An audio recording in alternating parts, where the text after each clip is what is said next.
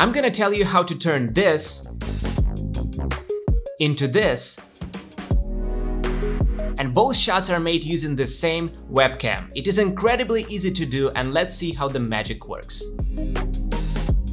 Hi, my name is Arthur and welcome to the Movavi vlog 2021. Tech evolves like never before. 8K cameras, many frames per second, dope lighting, not to mention extra gear for streamers and YouTubers, but webcams, for some reason, they are not perfect, and it may seem like they're left behind. But you need to understand that any webcam is a small device with a small sensor and a small lens. This is physically hard to achieve impressive results with shallow depth of field, high dynamic range and so on, at least today. And you might think this webcam is so big, why even the smartphone's camera is doing better? Keep in mind that the processor on your smartphone is a lot more powerful than the processor on a cheap webcam. The technology is not so advanced to make your webcam a professional filmmaking device. Smartphones are slowly getting to this point, but you cannot say the same thing about webcams. If you need a more powerful camera for your streams and YouTube videos, you should check out one of the cameras that we've mentioned in our previous video,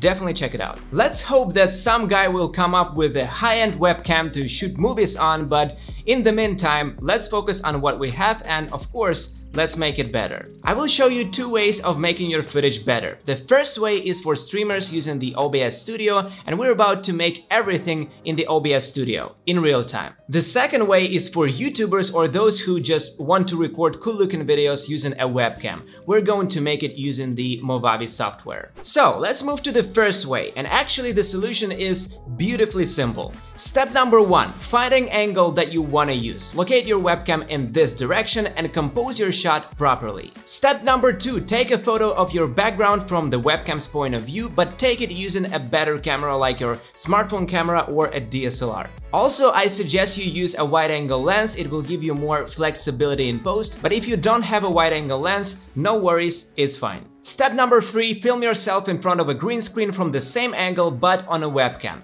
And make sure that you light yourself properly so the lighting on the photo matches the lighting on the video. It will make it more realistic. Step number 4, toss the photo into software and add something beautiful like color correction, some stylish elements on the background, and of course add some blur to the background to make it look more professional. Step number 5, cut away your green screen and compose yourself with the background. Sounds complicated but it's actually pretty straight straightforward. So let's open up the OBS Studio and at first you need to install a free plugin called StreamFX. We'll leave the link in the description. The installation process is pretty straightforward. Launch the installer and locate a folder with the installed OBS Studio. This plugin does not work with the Streamlabs OBS and other software for running streams. For this case, I'm gonna show you another way of doing this. So create a new scene and in the sources panel, add a new image. Find the photo you've taken earlier, compose the photo in the shot as you wish, click on the filters button, then the plus button in the left hand corner and find here the blur filter. You will find here a few types of blur but I suggest you select the Gaussian blur. You can also change the direction of the blur but we're gonna stop at the basic area option. Don't get too crazy with the slider, make it realistic. We should also add some color correction. Let's correct gamma, contrast and maybe add some color grading making the background more bluish for the color contrast. Then sit in front of the camera, set a green screen behind you and add a layer with your webcam. In the camera settings, set everything on manual, turn off all the check marks and I recommend you to play around with the shutter speed because you might see yourself overexposed by default. On the webcam layer, add the chroma key filter. Play around with the settings to cut away the green screen and congratulations! You're in focus. The background is nice and blurry and it looks like we shot it on a professional camera.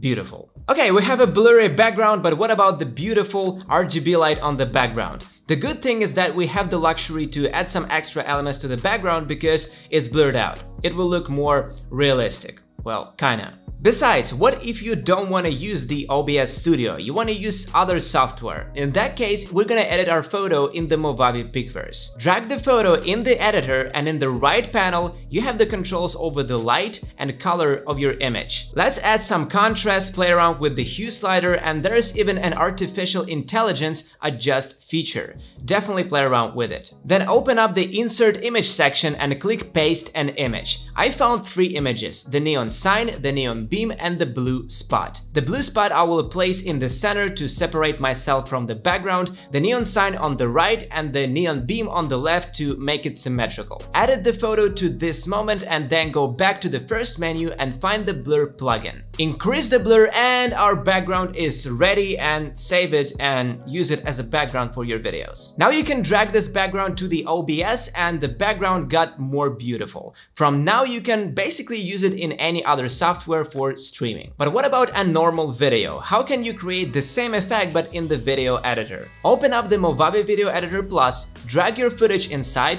drop the video and the background onto the timeline and press add video track. Place the video on the second track and the background on the first track. Go to the All Tools section, find Chroma key and select a green color. Now just play around with the sliders and we have a professional video shot on a webcam. And we also have a quick guide on how to make footage from your webcam better. Go to our new webpage by clicking the link in the description and check it out yourself. Also, on this page, you'll be able to join the official Movavi community or even get best-selling Movavi products at a 20% discount. Keep in mind that this is more than we usually offer on the channel, so click the link. Also check out this videos if you want to learn more about the content creation process, hit the like button if you found this video helpful, and I will see you in the next video.